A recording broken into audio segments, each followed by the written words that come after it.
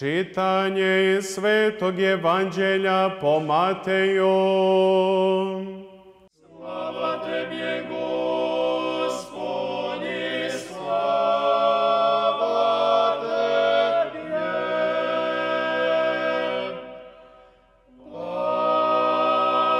Pazimo.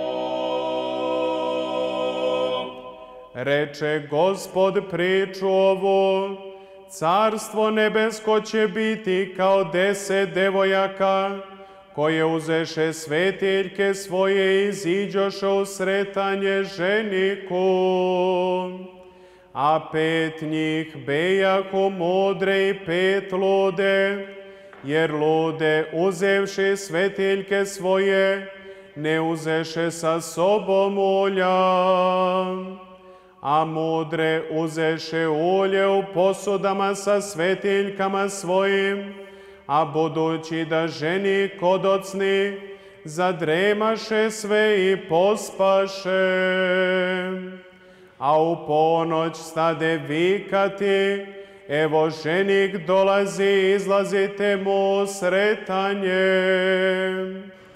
Tada ustadoše sve devojke one, i ukrasiše svetiljke svoje, a lude rekoše mudrima, dajte nam od vašega, jer se naše svetiljke gase.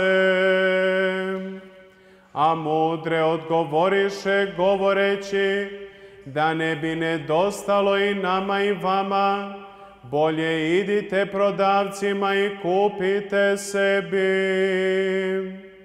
A kad one otidoše da kupe, dođe ženik i spremne uđoše s njim na svadbu i zatvoriše se vrata. A posle dođoše i one druge devojke govoreći, Gospodaru, gospodaru, otvori nam. A on odgovarajući reče im, Zaista vam kažem, ne poznajem vas, bdite dakle jer ne znate dana ni časa u koji će sin